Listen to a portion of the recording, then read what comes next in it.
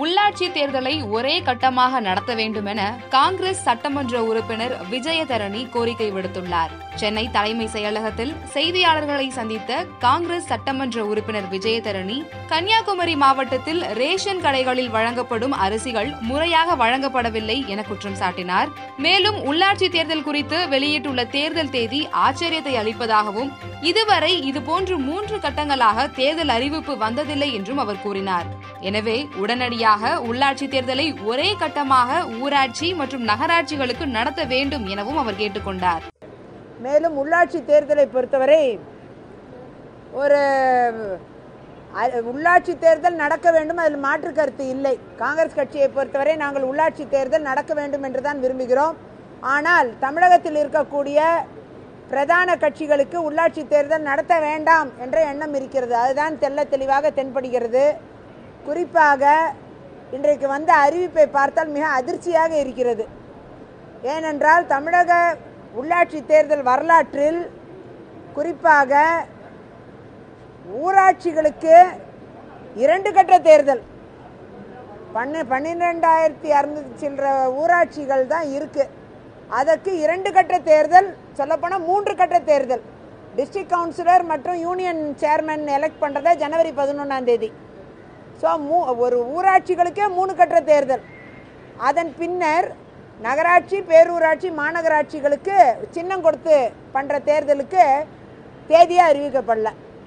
இது என்ன மாதிரி உள்ளாட்சி தேர்தல் அறிவிப்புன்னு எனக்கெல்லாம் அதிர்ச்சியாக இருக்குது உண்மையாகவே உள்ளாட்சி தேர்தல் நடத்தணுங்கிற நோக்கத்தோடு தான் இந்த அறிவிப்பெல்லாம் வெளியிடப்பட்டிருக்கா. அதே நேரம் இது முறையே நடத்தப்படவில்லை என்று திமுக கழக சார்பில் உச்சநீதிமன்றத்தில் இதுக்கு வழக்கு தொடரப்பட்டிருக்கு.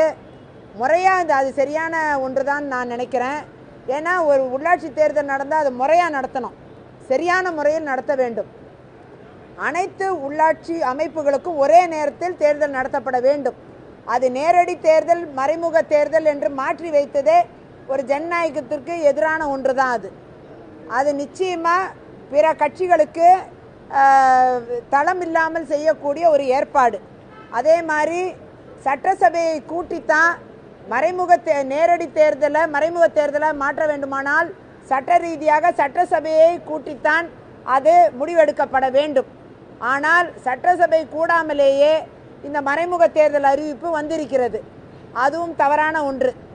அதே நேரம் உள்ளாட்சி தேர்தல் கிட்டத்தட்ட ஊராட்சிகளுக்கு மூன்று கட்ட தேர்தலும் பேரூராட்சி நகராட்சி மாநகராட்சிகளுக்கு டவுன் பகுதிகளுக்கு தேர்தலே இல்லைங்கிற ஒரு சூழ்நிலையும் ஒரு அதிர்ச்சிகரமான ஒரு தகவல் இப்படிப்பட்ட உள்ளாட்சி தேர்தல் யாரை திருப்திப்படுத்த இவ்வளோ ச- நடத்துகிறார்கள் நடத்த விரும்புகிறார்கள் இல்லை இது நடத்தக்கூடாது என்ற அடிப்படையில் தான் முன்னெடுத்து வைக்கப்படுகிறதா என்ற கேள்வி எழுகிறது. ஆகையால் எங்களை பொறுத்தவரை உள்ளாட்சி தேர்தல் நடத்த வேண்டும் என்ற அடிப்படை இருந்தாலும் இந்த மாதிரி ஒரு சரியான நடைமுறை இல்லாமல் ஒரு தவறான போக்கோடு உள்ளாட்சி தேர்தல் அறிவிக்கப்பட்டிருப்பது நிச்சயமாக கண்டனத்துக்குரியது ஏற்புடையதல்ல. லைக் பண்ணுங்க ஷேர் பண்ணுங்க கீழே கமெண்ட் பண்ணுங்க. மின்னம்பலம் யூடியூப் சேனலை சப்ஸ்கிரைப் பண்ணுங்க.